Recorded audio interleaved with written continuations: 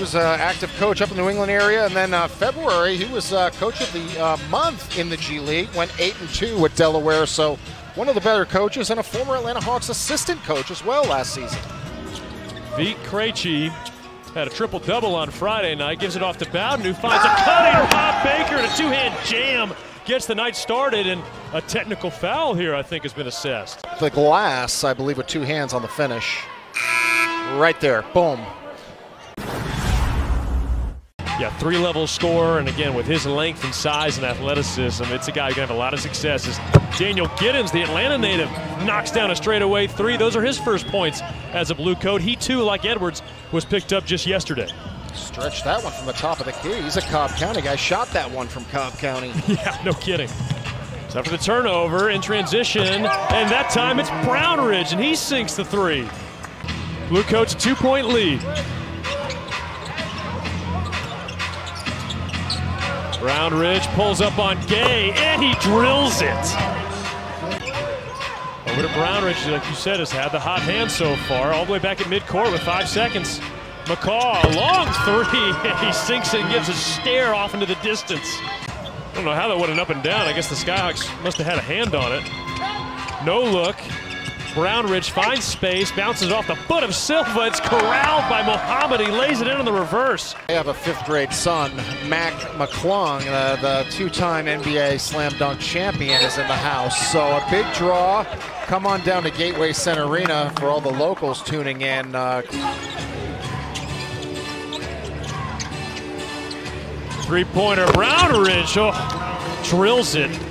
Eight for 17 from three-point land. They're back in man on this possession, but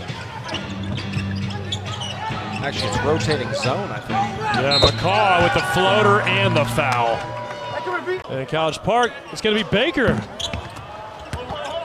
Seemed like he kind of made that decision quickly as he turned around and let it go, and Chris Clark just waltzes right to the rim.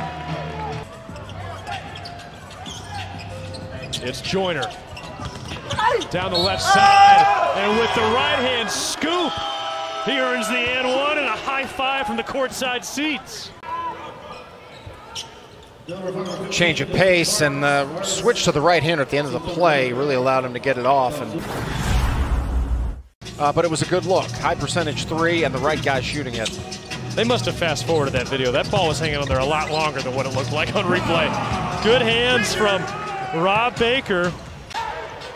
Was a nice rub action uh, in traffic. Um, get in the seams. And Krejci. Singleton, a part of that Final Four team at UCLA three years ago. Bazley down the right side. Oh, that was poetic. Mohammed spins around Silva, who walls up and contests the shot, forces the miss. Well, that was great defense, wasn't it, Wiley? Sure was. Textbook. And Jordan Bowden starting to heat up a little bit. Brownridge cutting, an easy two, and a timeout called on the floor. Ryan Schmidt did not like those last few possessions. Five minutes to go, third quarter. We spoke. Uh, one of the keys to the second half was defending the three-point line, oh and they're not supposed gosh. to go down like that. That's now 18 points for Brownridge, going out of bounds, falling away. What a prayer! Yeah, he practices that shot. Right? Nice shot, man. He made it. Uh, but I was about to say the Skyhawks had not given up a three in the third quarter. Well, you didn't say it, so it's not your fault. Chris Silva. Got eight. Look at that. Falling out of bounds, knocks it down. One the, point the game. Arc, the arc on that shot. Dropped it from the rafters, man. Got it up there. Bazley was anticipating contact, didn't get it, so he dishes some out to the rim. Should get a look one more time. Look at Bazley here. Man, avoids the contact. Slip. Chris Clark bringing it up with some speed, looking to break down Baker. Oh, and sneaky. Aminu Mohammed slipped past the backside of the defense, and boom, there he was. Final 30 seconds in the third quarter. Joyner tunneling down the right side of the lane, feeds to Norris, spin, and the bucket. That was a pirouette right there from Miles Norris.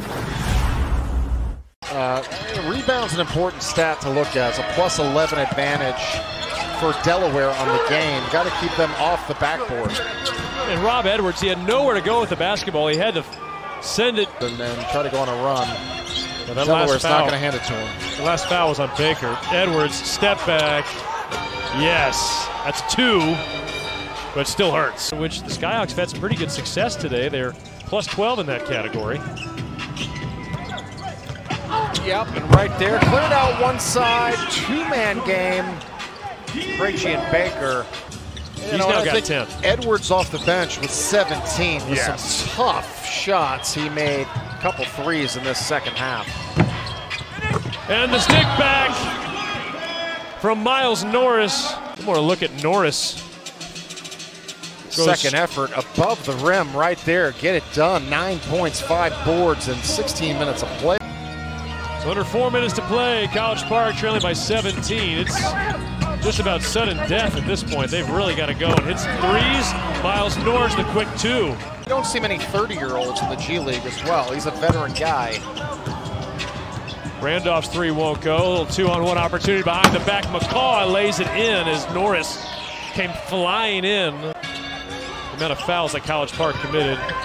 And then finally, a turnover just like that. They can't turn it into points.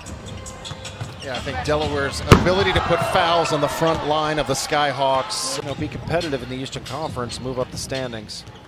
Krejci's going to dribble it out. And that's the ball game. Delaware defeats College Park 111 to 96.